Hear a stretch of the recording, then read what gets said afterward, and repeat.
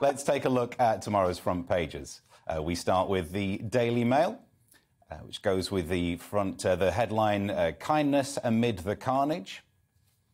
Oh, also have a picture of uh, Shane Warne on the front there with Liz Hurley.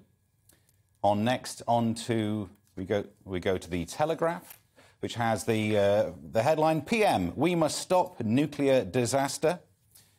On now on to the Independent. Uh, Russia's reckless attack on nuclear power station. The world narrowly avoided a catastrophe from assault, UN told.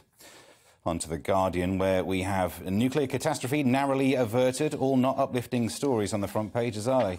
Uh, on to the FT.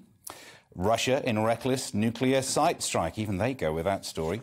Um, the Times has a picture of Shane Warne on the top, but also Welcome to Hell, Russians is their main headline. Uh, to the Daily Express, Boris, weapons on way, but time very tight, is the warning that they give us.